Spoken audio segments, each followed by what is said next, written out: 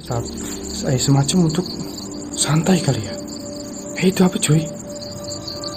Itu santai kali ya. Hei itu apa cuy? Saya banget sumpah ngap. Di sini, di sini gua.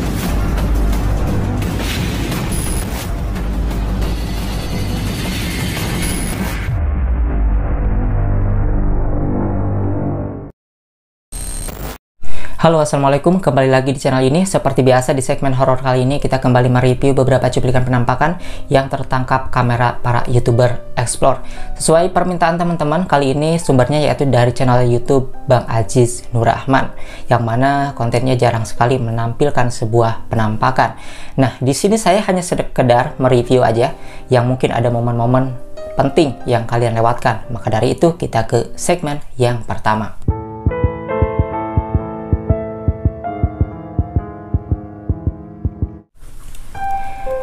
Nah di segmen yang pertama ini, video ini berasal dari channel YouTube Aziz Nurrahman saat itu sang youtubers mengeksplor sebuah bangunan terbengkalai yang aktif digunakan pada tahun 1980-an di zaman Susana, tetapi bukan tempat Susana ya, di zamannya Susana. Nah di sini tuh ada sebuah penampakan rambut kuntilanak yang sebenarnya tidak terlihat begitu jelas berada di atas atap bagian pintu kamar ataupun ruangan ya. Dan di sini sudah saya color grading warnanya sebagian untuk memperlihatkan warnanya yang lebih jelas. Karena kalau misalnya warna dari video aslinya Bang Aziz ini tidak begitu terlihat jelas ya rambutnya maka dari situ untuk mendominankan warna yang kita inginkan lihat lebih jelas maka saya color grading seperti inilah penampakan rambut kuntilanak yang tertangkap kameranya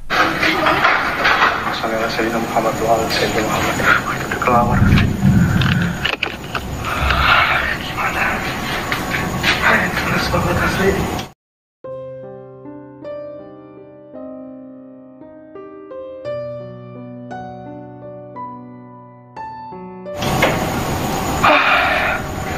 Nah teman-teman. Nah teman-teman.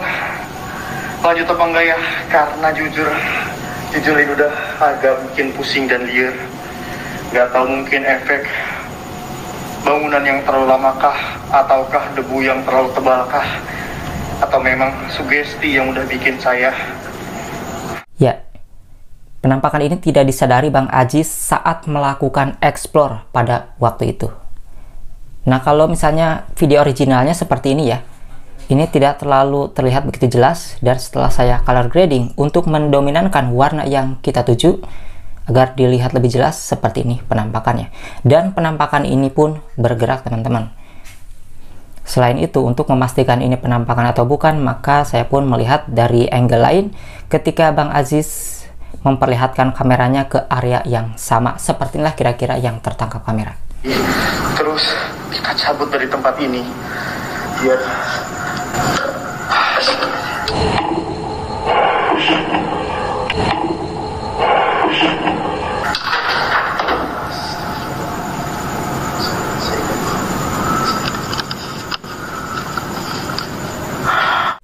Ya di sini sangat terlihat jelas ya, tidak ada penampakan sama sekali dan ini sudah saya color grading warnanya agak lebih cerah gitu. Nggak ada penampakannya ya, kita zoom lagi tuh, nggak ada. Tadi ada sangat jelas sekali kayak rambut misterius. Dan sini Bang Aziz kemudian langsung penasaran dengan tempat ini karena ada suara-suara yang dia dengar dan hawanya juga beda di sini. Dan untuk itu tidak ada apa-apa di ruangan ini Bang Aziz melanjutkan eksplornya ke dalam tetapi tidak saya tampilkan cuplikannya dikarenakan terlalu panjang. Kalian bisa kepoin channel Bang Aziz ya. Yang mengeksplor sebuah bangunan yang berdiri pada tahun ataupun yang aktif pada tahun 1980-an. Yang pasti itu judulnya ada kata Susananya guys. Oke, selanjutnya video ini masih bersumber dari channel Bang Aziz Nur Rahman. Saat itu beliau ini mengeksplor sebuah tempat yang angker di kawasan Semarang yang mana kabar yang beredar menurut warga sekitar penampakan yang sering menampakkan di area ini itu adalah genderwo dan juga kuntilanak. Ada sebuah penampakan yang tertangkap kamera Bang Azinur Rahman seperti ini. Ya, La ilaha Muhammad Rasulullah sallallahu alaihi wasallam.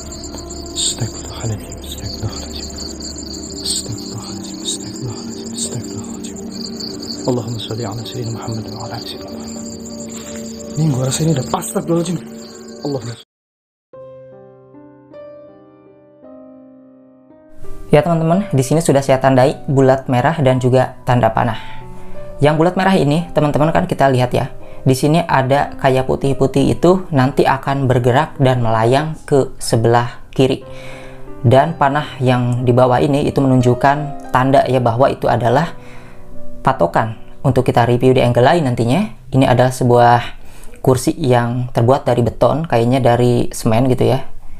Keras bukan kayu, bukan ya Nah, ini akan jadi patokan. Kita lihat nih, saat sang YouTubers mengarahkan kameranya ke bagian ruangan, kemudian ke sana lagi, seperti ini yang tertangkap kameranya.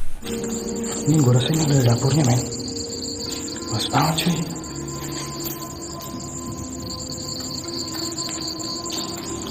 Halo. Dan di situ ada saat saya semacam untuk santai kali ya. Hei, itu apa, cuy? Tunggu santai kali ya. Hei itu apa cuy? Tunggu santai kali ya. Hei itu apa cuy? Tunggu udah kuntilanak men. Udah kuntilanak men.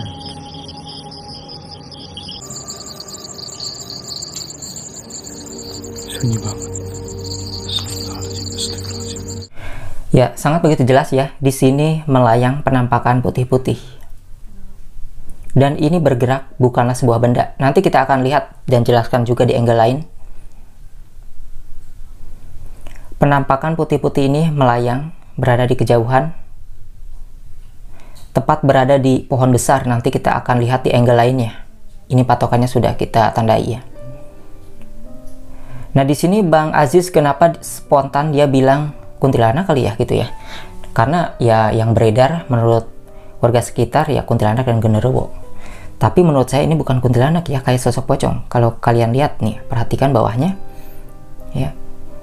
Penampakan tersebut itu bergerak dan kayak runcing, tetapi si bagian runcingnya ini, bagian kakinya itu tidak napak ya. Tuh, dia bergerak. Penampakan tersebut bergerak. Nah, kenapa di sini Bang Aziz tidak lari ada beberapa faktor yang akan saya jelaskan di sini menurut pandangan saya adalah yang pertama Bang Aziz pada awal-awal explore ke tempat angker itu dia tidak sendiri, dia selalu ditemenin temennya meskipun satu orang ataupun dua orang. Dan kebetulan saat ini dia mengeksplornya sendiri. Mungkin dia sudah siap ya konsekuensinya kalau menemukan penampakan ya bodoh amat lah. Mungkin itulah yang membuat dia tidak melarikan diri ataupun teriak-teriak dan dikarenakan seperti inilah uh, ex youtuber explore yang paling saya suka ya ada penampakan ada suara yang mengagetkan dia tidak buat jumpscare ataupun membuat kuping kita rusak gitu ya karena banyak sekali para penonton itu mendengarkan suara-suara lebih jeli pakai headset. Ketika sang youtuber menemukan sesuatu yang kaget kemudian dia teriak, maka itu akan mengganggu pendengaran penontonnya. Nah ini yang saya suka dari channel YouTube Bang Ajis juga ketika mendapatkan sesuatu tidak melarikan diri. Karena di sini posisinya itu kan di kamera ini guys, itu tidak akan terlalu fokus ke sini aja karena itu jauh. Di lokasi itu akan lebih luas lagi, pandangannya lebih banyak area yang serem yang terlihat dan mungkin dia juga masih ragu-ragu itu penampakan atau bukan gitu ya. Maka dari itu di sini Bang Aziz langsung mengeksplor bangunan yang berada di pinggir ini. Nah, setelah mengeksplor bangunan yang di pinggir ini dan membodoh amatkan penampakan tadi, kita lihat nih, pas ke area tersebut, penampakan tersebut sudah tidak ada. Buka Aku sedikit jiper cuy. Astagfirullahaladzim.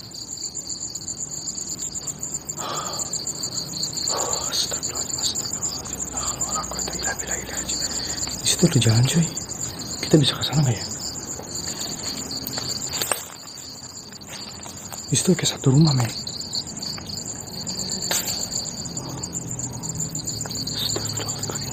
Nah ini kita tandai ya tadi. Ini kursi dan ini bagian belakangnya ada hantu pocongnya tadinya kan di sini sudah nge-explore tempat ini nih. Nah ini kursi kemudian ke ke sini nge-explore-nya. Nah. Di sini tuh nggak ada penampakan yang tadi yang melayang tadi itu nggak ada teman-teman. Dan ini tepat berada di bawah pohon besar. Penampakan tadi tidak ada. Meskipun putih-putih tembok itu berada di pinggir bukan di tengah. Dan bentuknya tentu akan berbeda dengan yang tadi. Kira-kira seperti apa tanggapan kalian? Silahkan aja tulis di kolom komentar. Video yang selanjutnya, video ini juga masih bersumber dari channel Bang Aziz Nur Rahman. Saat itu sang youtubers mendatangi sebuah rumah sakit terbengkalai di kawasan Tangerang yaitu RS Medika pokoknya ya. Ada sebuah penampakan yang kayak memakai pakaian petugas kesehatan kayak pakai suster atau dokter gitu. Kita lihat videonya seperti ini. Halo.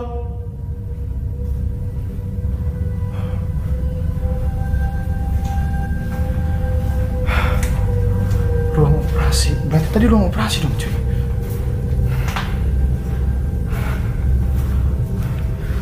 Capek banget sumpah. Enggak.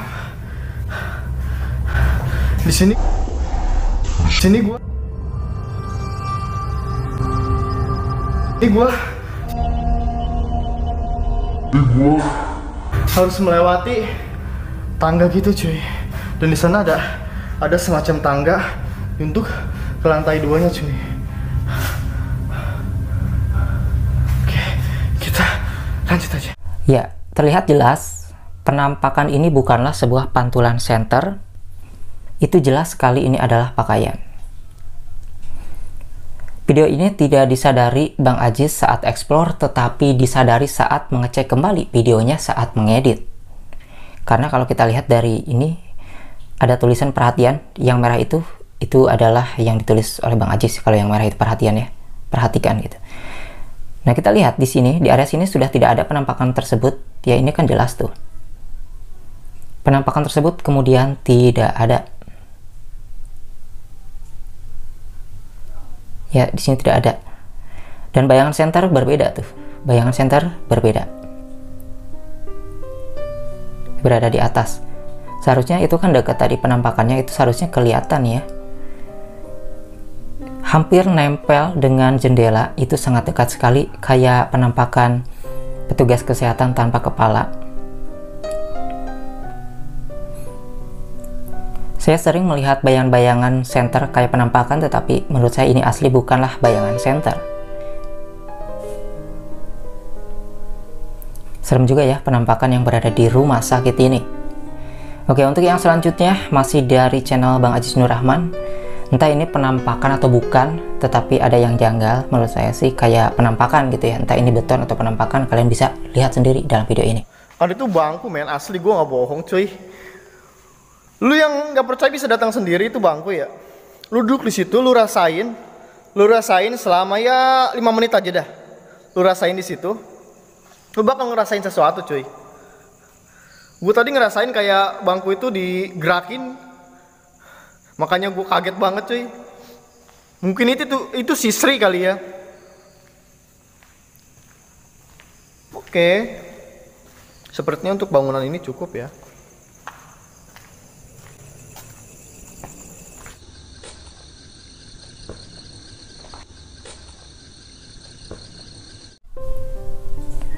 Ya, video ini tidak disadari oleh Bang Aziz ya. Kayak ada penampakan kain. Entah ini beton atau kain, beton tidak masuk akal berada di tengah-tengah seperti itu dan bentuknya kayak kayak rok gitu ya. Dari atas ke sampingnya itu lebar. Mungkin buat kalian yang memiliki kelebihan kayak Indogo gitu, bisa merasakan energi ini ya. Karena di uh, lain tempat, di area ini sebelumnya itu dia mencium kayak bau melati teman-teman tapi untuk penampakan tidak dilihatnya. Nah itu dia beberapa cuplikan penampakan yang bersumber dari channel YouTube Aziz Nur Rahman. Entah itu penampakan asli ataupun enggak anggap aja semuanya adalah hiburan semua yang menilai kalian masing-masing. Terima kasih buat teman-teman yang sudah mengklik video ini. Jangan lupa untuk like video ini dan subscribe channel ini. Dan buat kalian yang mau request untuk mereview channel siapa lagi yang menurut kalian real tanpa settingan tulis aja di kolom komentar. Dan absen dari mana aja. Sampai jumpa lagi di video selanjutnya